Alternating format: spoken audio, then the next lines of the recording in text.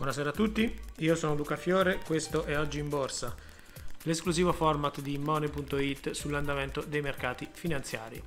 Mercati finanziari che oggi hanno chiuso la seduta in deciso territorio negativo, come possiamo vedere in special modo in Europa, dove l'Eurostox 50 ha terminato in rosso di 2 punti percentuali.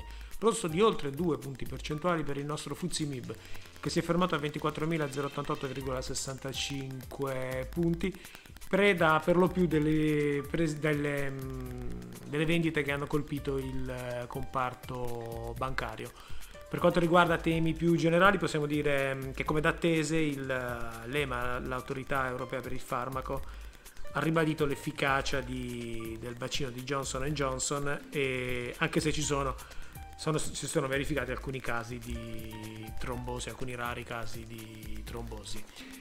Per eh, quanto riguarda le tematiche più economiche, eh, sul Fuzimib troviamo ben pochi segni più, tre per la precisione, quelli messi a segno da Diasorin, Amplifon e Recordati, salite rispettivamente dello 0,97, dello 0,88 e dello 0,13%, tutto il resto del listino principale quota in rosso.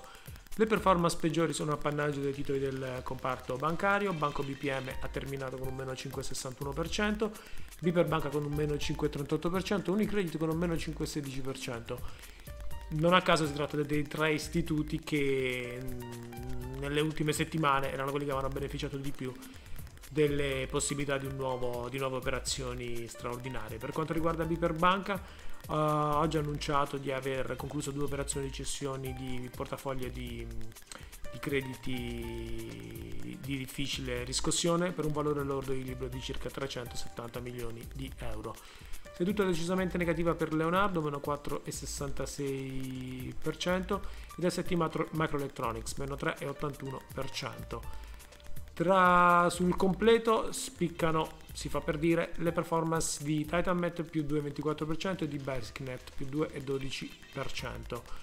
Tra le performance peggiori ritroviamo il banco BPM, ritroviamo Technogym meno 6,62% e, anche la coperta formata da Biper e da Unicredit. Per quanto riguarda l'andamento dei titoli di Stato, lo spread tra BTP e Bund è salito di quasi 2 punti percentuali a 104 punti base e secondo le indiscrezioni nel secondo giorno di offerta gli ordini per il BTP future sono attestati a 700 milioni di euro, quindi il totale sale sopra quota 3 miliardi di euro. Da Money.it per oggi è tutto, l'appuntamento è a domani. Buona serata.